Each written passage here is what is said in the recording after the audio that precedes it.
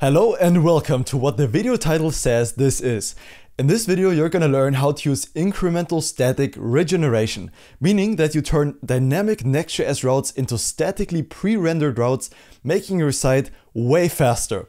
If you use this in your personal projects, in your freelance projects, people you're working with are gonna think, wow, this guy knows what he's doing. And by the end of the video, you will. So let's dive right into it. Okay, so let's take a look at how incremental static regeneration, the superpower of Next.js, makes your app blazingly fast. It really does make a big difference. And to understand how it works, let's take a look at this graph right here.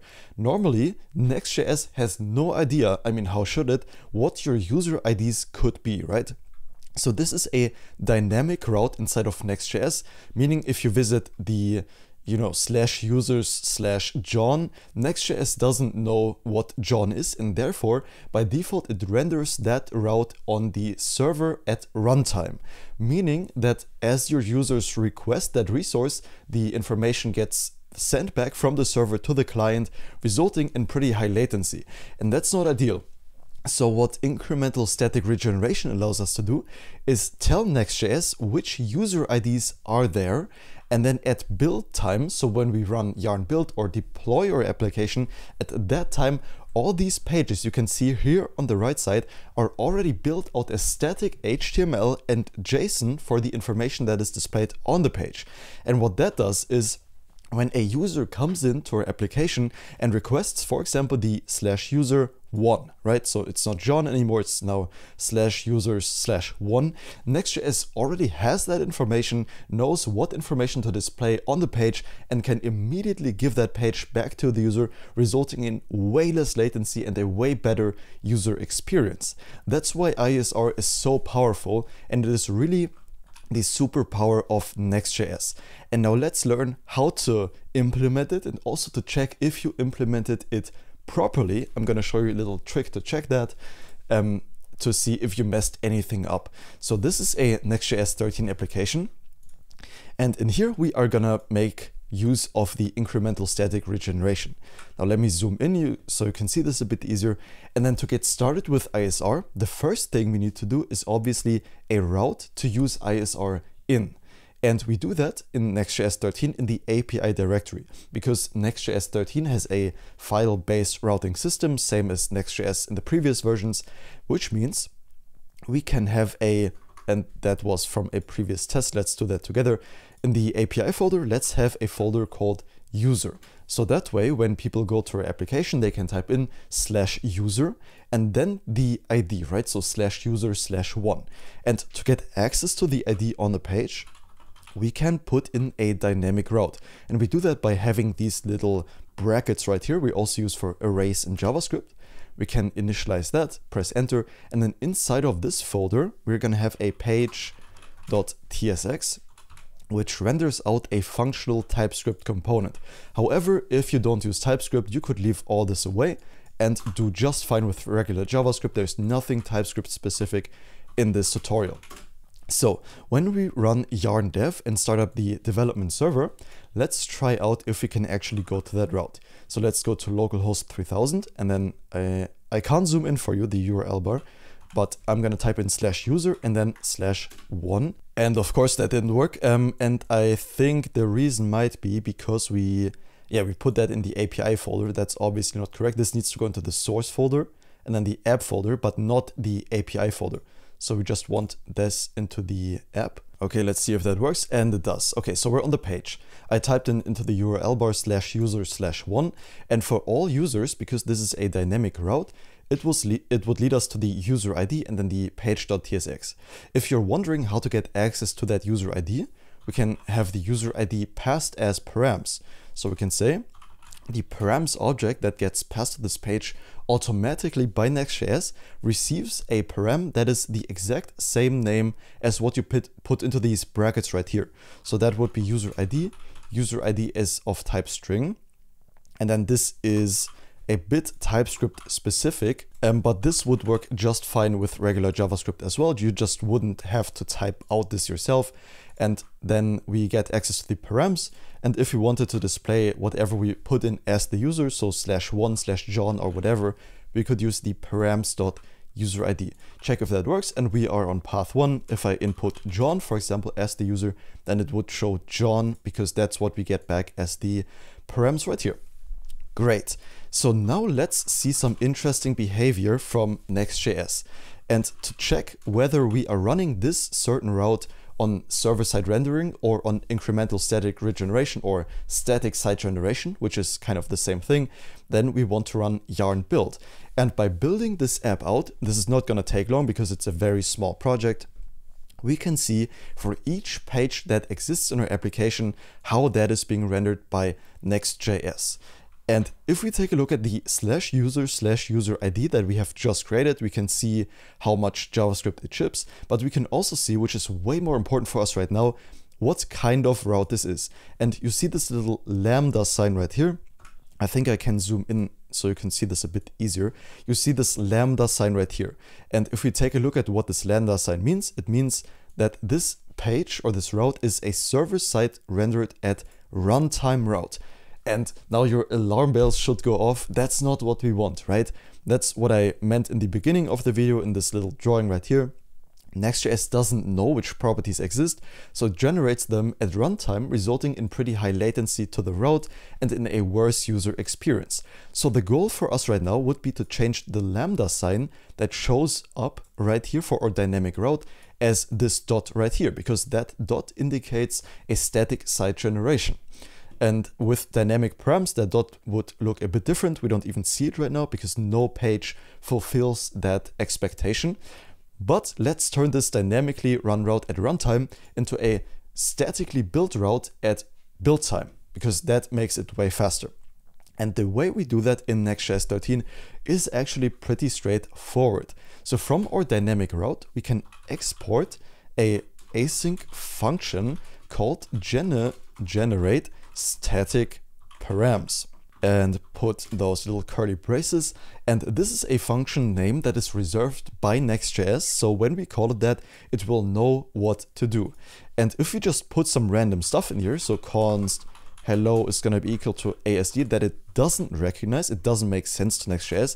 And if we tried building this application again, it would let us know, you know, what we are trying to do in this function doesn't really work, right? So because this is a reserved name, we can't just do some random um, some random shenanigans in there. We actually need to return an array from this. And inside of the get static params, you can make calls to your database to get all the user IDs that exist in your database, because that's what you'd want, right? I'm gonna mock this out. I'm gonna say const user IDs is going to be equal to an array, and that's just going to have one, two, and three. But normally you'd make a call to your database here, like so, await db, and then dot dot person, for example, dot find many, and then just um, get all the in the select get all the user IDs like so and then you return that from your function. But I'm gonna, I'm not gonna make any database call right now. I'm just gonna mark this out, as I said, to get the point across. And then what we need to do is return the array from the function. And we do that in a specific syntax. So from this function, we are gonna return, and then the user IDs dot map, and for each user ID, so that means we go through every item of the array, and then every item of the array is available to us as this user ID property right here and we are gonna implicitly return an object. We do that with this syntax right here with the parentheses and then inside of them the curly braces, which is essentially the same thing as if we were to say a function block and then we return an object. It, it would be the exact same thing syntactically, just JavaScript makes it a bit easier for us. And then in here, we could say the user ID and return that from the function. And this needs to match whatever is in the brackets up here. Just keep that in mind. So in our case, that's going to be the user ID. And now let's see what happened to our page generation. That's the little trick I mentioned in the beginning of the video that lets you verify if you did everything correctly. So if we run the build command again with yarn build, this is going to be really quick. It's just a small project. And now we can check if we did everything correct by checking the little sign in front of our dynamic route. And as we can see, the route is now not rendered by the server at runtime anymore, but rather there's, there's a filled out dot right now instead of the lambda that we had before. And if we take a look at what this filled out dot means down here in the legend, I think it's called, it says SSG, automatically generated a static HTML plus JSON uses get static props. And what we just did is pre-rendered the first three routes because we passed in those as the user IDs, meaning if we were to access them now in the browser, it would be way faster than generating the information we need for them at runtime. Now you might be wondering, Josh, that's good and all, but if I change something about the user IDs, how would the page know? Because this is done at build time, right? Would I have to build out, would I have to redeploy my app every time there's a new user? And the answer is no, you don't. There's something really, really cool when we are working with Next.js 13 specifically that we didn't have access before, or just in a different form. We did have access to it, but now it's way more convenient to use as a developer. that is the revalidate option meaning that every certain time interval, this information right here is going to get revalidated, right? So if a fourth user were to exist, then we could check every so often if there is a new user or if there's less users and then render the pages accordingly. The way we do that is by exporting a const called revalidate and set that to an interval in seconds. This is not milliseconds. So if I were to pass in 60, you'd know the default revalidation time would be 60 seconds. If we hover over this, we can see what it means if you have enabled the TypeScript version in your project directory. Otherwise, this wouldn't say anything. So zero, specifying zero implies that this layout or page should never be static. It will always be um, changed at request time or revalidated when a request comes in.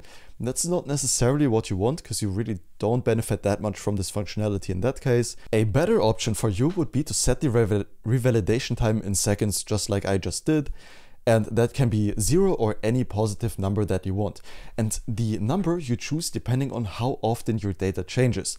For example, if your data changes once every month because you get it from somewhere and then put it manually into your database, it would not make sense to revalidate every minute, every day, whatever. However, if there's a lot of new users, a lot of fluctuation in the users, in the documents, whatever your dynamic route is about, then it would make sense to actually use a number like, you know, one hour, maybe 10 minutes, whatever.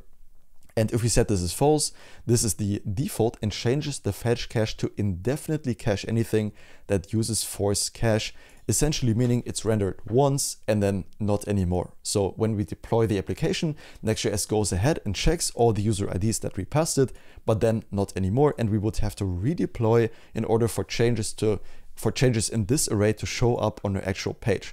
And that is probably rarely what we want, except the data is very stale and almost never changes. Now, interestingly enough, there's a lot of options to do this revalidation. You could do this on every single page that you want. However, you could also do this in a layout, meaning if we want to revalidate the entire page, we could go into our root layout of this directory. And also in here, we could say the exact same thing. We could say export const revalidate is going to be equal to 60.